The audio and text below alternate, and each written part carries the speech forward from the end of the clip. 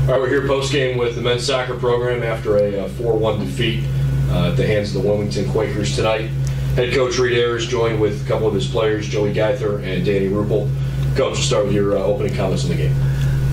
It was a tough night. Uh, the conditions were brutal. Um, you know, I, I, just don't think we ever really got into a rhythm all night. Um, you know, credit to Wilmington. I think they, they worked hard. I think they made it very uh, difficult for us to play, and I just think we just really struggled uh, to kind of put things together tonight.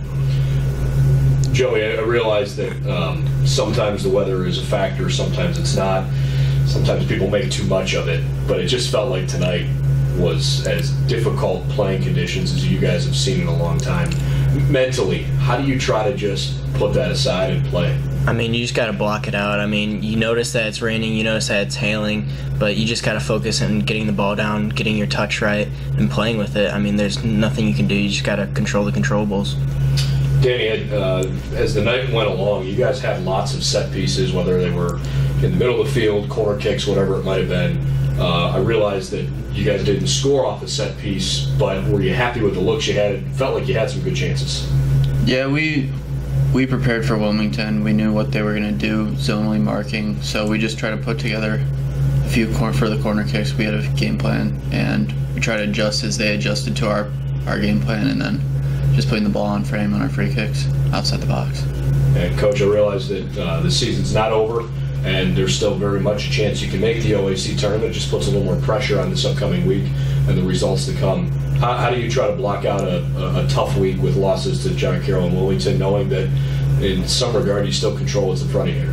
Yeah, I mean we've we've talked about it uh, a little bit in the locker room is not letting tonight define us, um, and we also you know, really from the start of conferences, every time we showed up, there were there were three points at stake, uh, no more, no less. Uh, um, a good win doesn't guarantee you a, a, a, great performance the next night. So, you know, it's something that we've been training and, and something that we've been talking about. So, I'm hoping the guys. I mean, it has been a disappointing week. I mean, I thought the guys played fabulous on Wednesday, and and uh, you know, we didn't quite get it done, but I was you know, we got on the bus and we were very, very pleased with the performance. I think tonight, um, I don't think we're pleased with our performance. I don't think uh, uh, we played to our standard, the standard we hold ourselves to. So, what we're hoping is that we can um, regroup and, and, come back, put together a plan for Mount Union, and uh, go out and have a have a, strong performance.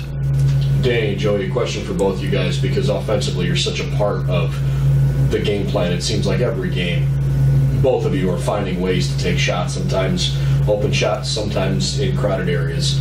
Um, but as, as juniors, knowing that this is not your last go round, do you feel like there there is something additional here at stake that, that you want to try to do for the senior class to, to get over the hump and get back to the OAC tournament? Of course, we spent the past three years with them, so I mean, they've been a part of our journey for basically the whole way. So, I mean, I don't think we're going to do anything more, but it just it just means a little bit more that we're playing for them because I know it's their last go around and I don't want them to be disappointed at the end.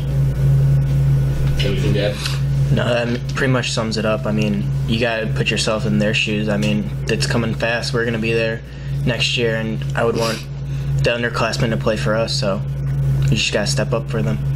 Reid, is there anything in particular as, as, we wrap things up? Anything in particular tonight that you feel you can build on going into next week, or is tonight the kind of game you just try to wash clean?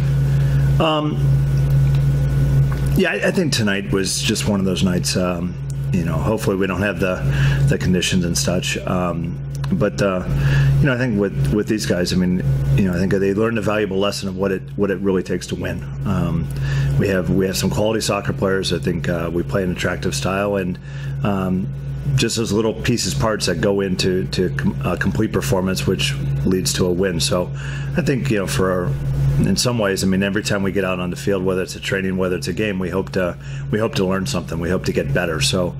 Um, I think we, we have some takeaways, and it's just it'll be up to the to the staff and to the and to the boys to uh, um, apply it to to Mount Union.